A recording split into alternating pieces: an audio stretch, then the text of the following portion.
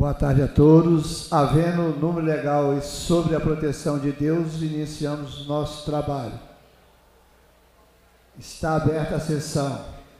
A presidência convida o nobre deputado Luiz Paulo para fazer a leitura da ata da sessão anterior.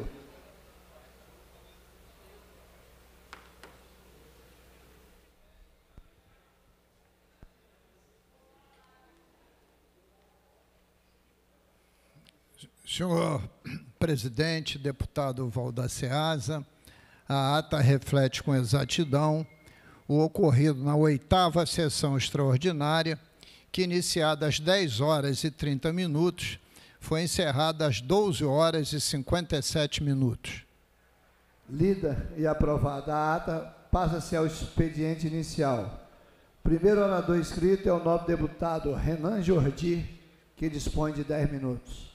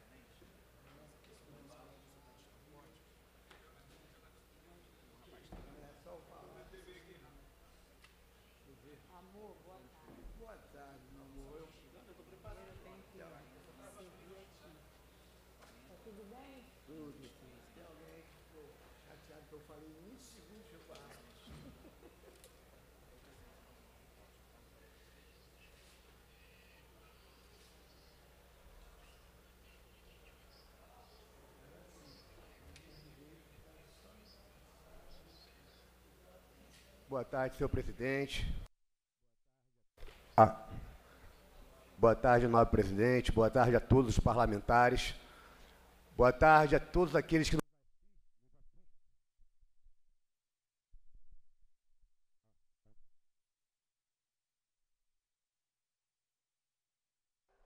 Ah. Boa tarde, nobre presidente, voltando, né? Boa tarde a todos os parlamentares. Boa tarde a todos aqueles que hoje nos assistem pela TV Alerge.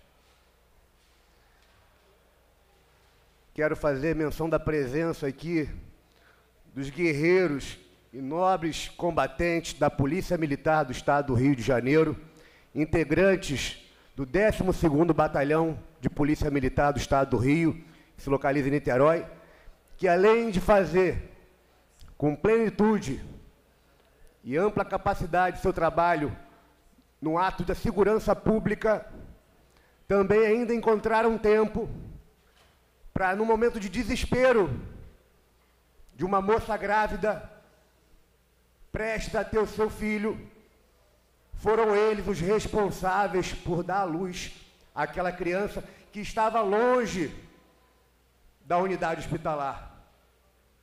Muitos aqui, inclusive, desprezam o trabalho dessa nobre corporação. Quero aqui, em nome dessa casa, parabenizar ao Cabo Taveira, Sargento Silva Júnior e, e Soldado Oliveira por, além de tudo, ainda serem nobres e grandes cidadãos e, quiçá, poderiam ser médicos também. Parabéns. Dando, in, dando início à minha fala, eu friso. Quem avisa, amigo é.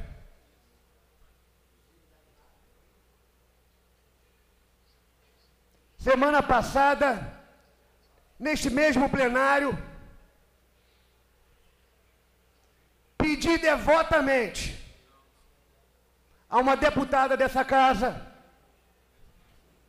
para que retirasse, revogasse a concessão da maior honraria da Assembleia Legislativa do Estado do Rio. E a menininha de recado, deputada Hello Kitty de Rodriguinho, junto com seu carregador de mala, do Rodriguinho também. Tentaram aqui me assombrar. Tentaram, inclusive, desqualificar. o meu posicionamento. Mais nobre deputado e presidente da sessão, deputado Valdo Ceasa. Quem trabalha com a verdade tem a tranquilidade de aguardar. E não muito depois, na mesma semana, dois dias após ou três dias após dessa medalha ter sido entregue, o procurador da Fundação Municipal de Educação do município de Niterói pede o afastamento do secretário de Educação de Rodriguinho, Rodriguinho Grael, por descaso com a administração pública, por um prejuízo que pode beirar 8 milhões de reais, por acumular indevidamente dois cargos, o de presidente da Fundação Municipal de Educação e o de secretário de Educação. Acúmulo indevido de cargos. Gastos desnecessários com tablets que não foram entregues. Mais de 6 milhões apodrecendo. Esse é o retrato da gestão Rodrigo Grael. Descaso com dinheiro público, desrespeito com a população, crianças e adolescentes em idade de creche e ensino fundamental, sem lugar para estudar, colégios infestados de ratos, infestados. E não me canso de me indignar, nobre deputado e amigo Luiz Paulo. Crianças, uma cidade multibilionária, Alberto Torres, João Brasil, Mestre Fininha, Altivo César, Maria Felisberta. Todas as escolas municipais do município de Niterói. Condições deploráveis, condições insalubres, que não permitem nenhuma criança aprender, muito menos projetar o seu futuro. E é isso que a gente enxerga em Niterói, em todos os outros setores. Uma cidade multibilionária, mais de 6 bilhões de orçamento. Falta mobilidade, falta saúde, falta desenvolvimento econômico. E espalhado por mais de cargos que, inclusive, já foram divulgados amplamente pela, pela mídia tradicional. Cargos fantasmas em Emusa Niterói não aguenta mais esse tipo de achincalhamento, de desrespeito. Esse ano, a gente tem uma responsabilidade muito grande, não só na cidade de Niterói, mas em todos os municípios do Rio, de eleger prefeitos e vereadores comprometidos com o erário, com o recurso que é do povo.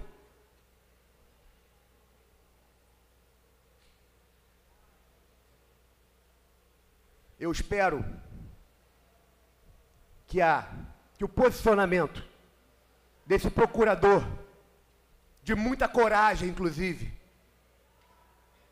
que pediu o afastamento do secretário Bira Marques, secretário de Educação do Rodriguinho, seja acatado.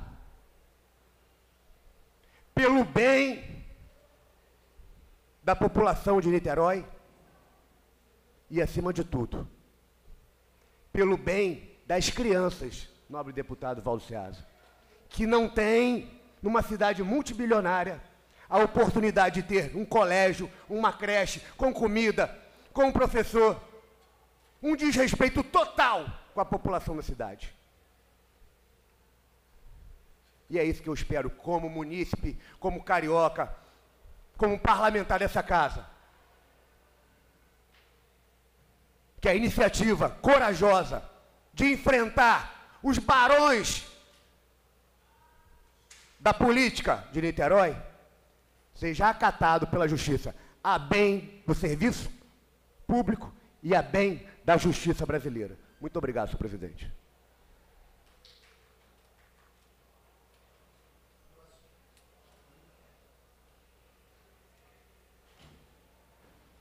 Próximo orador inscrito é o nobre deputado Luiz Paulo, que dispõe de 10 minutos.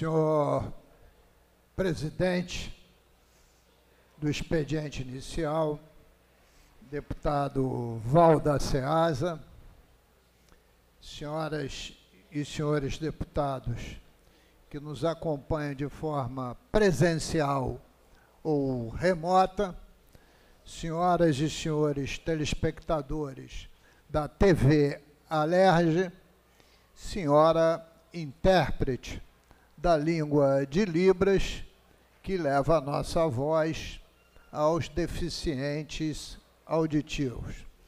Senhor presidente, estamos exatamente há duas semanas ou seis sessões do recesso, que será no mês de julho.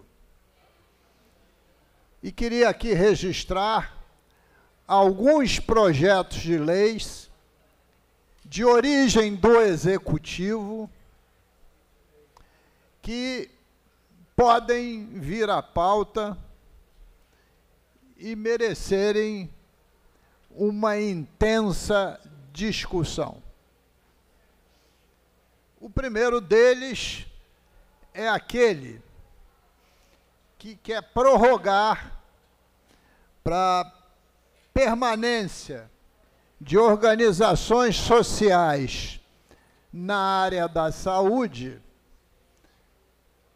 prorrogar o prazo até 2027, senhor presidente. Quando nós, exatamente há quatro anos atrás, dispusemos em lei que o prazo que vigoraria a contratação de OS, organizações sociais na área da saúde, seria 31 de julho de 2024. Governador Cláudio Castro governa o Estado há quatro anos. Dois do atual mandato, quase um ano e meio, e mais do que dois do mandato anterior. E quando ele assumiu o seu primeiro mandato, já vigia a lei que dizia que as OSs não poderiam mais ser contratadas a partir de 31 de julho de 2027. Estou chamando a atenção sobre esse tema, senhor presidente, porque o autor dessa emenda, lá atrás, fui eu. E agora, no apagar das luzes, chega essa mensagem. Se a gente for no sistema, a gente encontra pelo menos oito contratos de organizações sociais e que todos oito se extinguem agora em julho de 2024. Ocorre que nenhuma providência concreta foi tomada. Por quê? A ideia basilar é que o governo, nesse período de quatro anos, tivesse feito concurso público para a Secretaria de Estado de Saúde e para a Fundação Estadual da Saúde, que seria o destino dessas gestões que hoje são feitas pela OS e que seria feita pela Fundação Estadual da Saúde. A Fundação Estadual da Saúde é uma fundação pública de direito privado gerida pelo Estado. Ora, mas as providências não foram tomadas. E agora se tem esse impasse. Alega o governo que ele tem três grandes hospitais que necessita de ter organização social, que seria o Hospital Zilda Arnes, lá em Volta Redonda, o Hospital do Cérebro, que todos conhecem aqui na Avenida Presidente Vargas, e o Hospital da Criança. Mas se eu somar os gastos com esses três hospitais, eles simbolizam menos que 10% do total de obrigação de gasto da saúde. Obrigação do gasto da saúde é 12% em ações da saúde, dos impostos arrecadados. Isso daria algo como 680 milhões, suficientes para fazer essa transição, desde que houvesse como contrapartida a abertura dos concursos públicos. Senão fica se perpetuando decisões e nada se altera. E sabe bem Vossa Excelência que uma das fontes de grande processo de corrupção que levou ao impeachment do então governador de 2019 foram os escândalos na área da saúde, em especial das organizações sociais, em especial na construção de hospitais de campanha. Então, este é o primeiro projeto foi protocolado no dia de ontem, senhor presidente. Projeto extremamente polêmico. O segundo projeto tem um grau de positividade, que diz respeito a você incentivar a construções de termoelétricas derivadas do nosso gás natural. O lado positivo disso é que hoje a Petrobras reinjeta parcela significativa do gás natural que é associado ao petróleo. E reinjeta para tirar mais óleo, mas o gás volta para o poço. Ora, se a gente consumir mais gás transformando esse gás em energia, que é o que a gente necessita. Né? Por via de consequência, vai gerar mais royalties e participações especiais. E por último, senhor presidente, e voltarei a esse tema, não é uma mensagem nova. Foi um decreto do governador nós apresentamos essa casa um projeto de lei para que saísse da substituição tributária todas as operações internas ou interestaduais sobre a produção leiteira, de água mineral, bebidas quentes e vinhos. E esse projeto de lei veio à pauta, recebeu emendas, teve audiência pública e não voltou em segunda. E por que não voltou em segunda? Porque esse projeto de lei, ele copiou um decreto anterior do próprio governador Cláudio Castro, que deu essa prerrogativa a essas áreas produtivas, de não estar inclusa não estaria inclusa no sistema de substituição tributária. Mas nesse decreto, ele botou as empresas que estivessem fazendo operações internas ou não, abrindo para operações interestaduais.